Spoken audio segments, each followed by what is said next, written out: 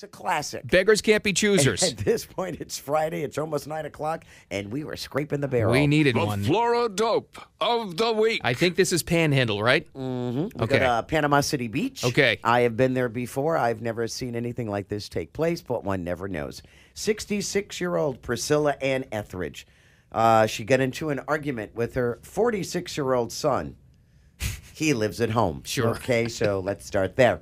They get in a fight in their double wide over the fact that the 46 year old son lost mom's cell phone. Wait, was it a two-story double wide or a regular double wide? Uh, I think it was just a, a regular double wide. All right. So the son gets on his bicycle, his bicycle, Call those the DUI bikes, okay, and he pedals away. right? And mom thinks he has the cell phone. So Oh. she does the only logical thing. She runs outside, jumps in her car. Oh, don't forget she grabbed a gun before she left. Well, catches up to the son and tries to shoot him in a drive-by shooting.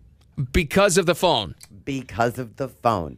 Fortunately, she might have been drunk. I don't know. She missed.